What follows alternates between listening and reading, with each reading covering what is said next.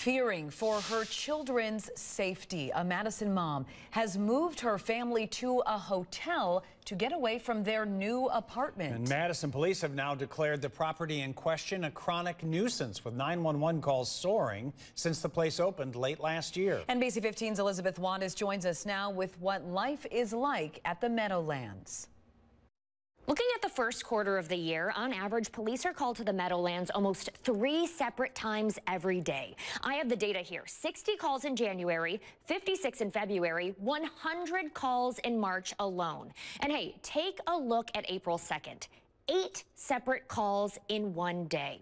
And we're talking calls for things ranging from noise complaints, domestic disturbances, battery, and weapons offenses. A mom of four with one on the way tells me she wants her family out. Hop on. We used to do it real high. On a spring day like this one, there's only one place these sisters want to be. Woo, that looks so scary. Making memories under the sun and Mom Takara's watchful eye. You gotta lean back hard and kick out hard. In a few months, that's gonna get you up higher. There will be a new baby sister to share the fun. My family grew. But lately, I'm gonna hide in. These outdoor playtime memories have been rare. this family has been temporarily staying in a place nearby this park as a safe haven from their actual home. It's wrecking my nerves. It's wrecking my nerves because I don't know if I'm going to wake up this day to chaos or calmness. We trying to hit somebody's car. Takara peering out from her window watching as a group of teens smashes a car with a bat.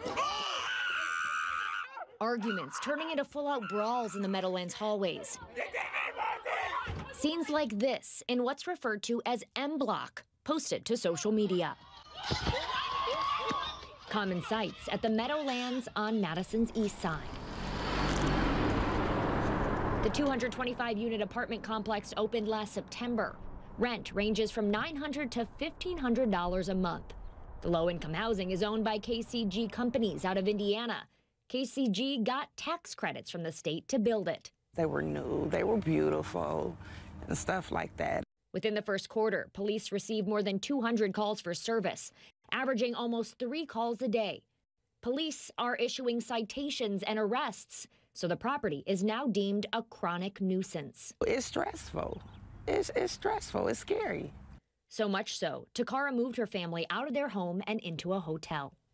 I don't want to be there right now because I'm terrified that my children will be one of the, the innocent ones hit and this stuff because it's so reckless. The root of the recklessness to Takara starts with what she calls bad management. They need to really start communicating. You know, it's kind of like, in a sense, it's bad business. The challenge here is that we have we have great residents who follow the rules. Kim Hurd with KCG oversees property management throughout the country. Unfortunately, we have a handful who don't. And that is where the problems are stemming from.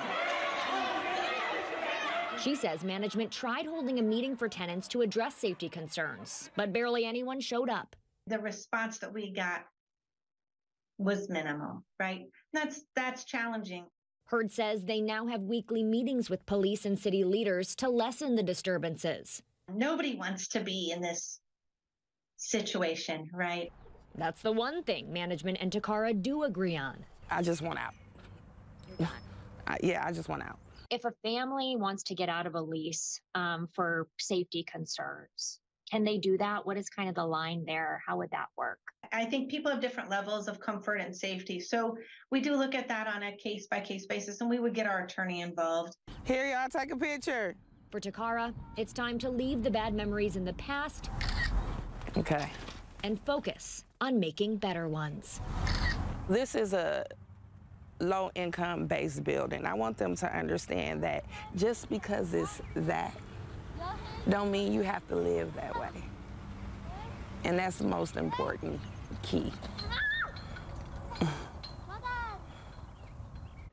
As Takara looks at her legal options to get out of her Meadowlands lease, police and city leaders are coming together to try to mitigate the violence. Coming up tonight at 10, from the city side of things, Hear what could happen to the property managers if the problems aren't addressed soon.